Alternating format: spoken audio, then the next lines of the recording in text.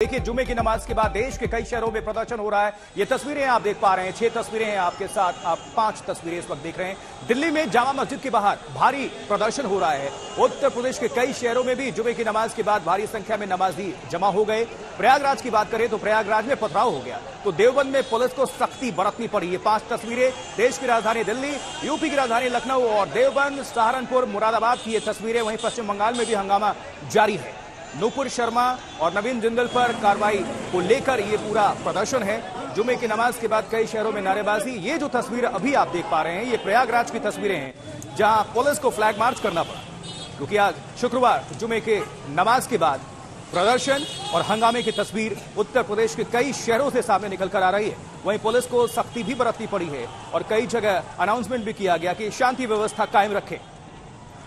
और सबसे बड़ी बात की उत्तर प्रदेश पुलिस ने कहा था कि जुमे की नमाज़ के दिन शुक्रवार को और एहतियाती सुरक्षा व्यवस्था चाक चौबंद की जाएगी, कड़ी कर दी जाएगी, लेकिन वो कुछ अभी फ़िलहाल तो नज़र नहीं आ रहा है कि क्योंकि प्रदर्शनकारी लगातार सड़कों पर हैं फ्लैग मार्च कर रहे हैं, हाथों में बैनर पोस्टर लेकर। लेकिन बहुत सारे सवाल भी उठ रहे हैं कि ये जुमे की नमाज़ के बाद शुक्रवार के दिन आखिर इसके पीछे स्क्रिप्टिंग कौन कर रहा है? ये जो हंगामा हो रहा है, कोई तो होगा प्लानर आखिर भारी संख्या में मस्जिद के बाहर कैसे प्रदर्शनकारी जुट गए?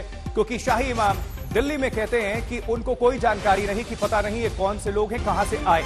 अब प्रयागराज की बात करें तो नारेबाजी, प्रदर्शन और पत्थरबाजी भी हमें देखने को मिली है, ये भी सूचना मिल रही है सूत्रों के मुताबिक। लेकिन दिल्ली में भी भारी प्रदर्शन और उत्तर प्रदेश के कई शहरों में लखनऊ की बात कर ले तो वहाँ पर भी विरोध प्रदर्शन, वहीं देवबंद की बात करें, वहाँ पर भी विरोध प्रदर्शन, पुलिस को भी सख्ती दिखानी पड़ी वहाँ पर। प्रदर्शनकारियों को रोकने के लिए और वहीं मुरादाबाद से भी खबर है वहाँ भी विरोध प्रदर्शन। भारी संख्या में मस्जिद के बाहर जुटे हैं प्रदर्शनकारी। और पश्चिम बंगाल की बात कर तो वहाँ पर भी विरोध प्रदर्शन हो रहा है नुपुर शर्मा की गिरफ्तारी को लेकर, नवीन जिंदल के कार्रवाई को लेकर उनके खिलाफ। नूपुर शर्मा के खिलाफ विरोध प्रदर्शन इस वक्त हमें देखने को मिल रहा है और ये जो तस्वीर अभी आप देख रहे हैं, प्रयागराज, उत्तर प्रदेश की तस्वीर। उत्तर प्रदेश में कई शहरों में विरोध प्रदर्शन अभी देखने को मिल रहा है।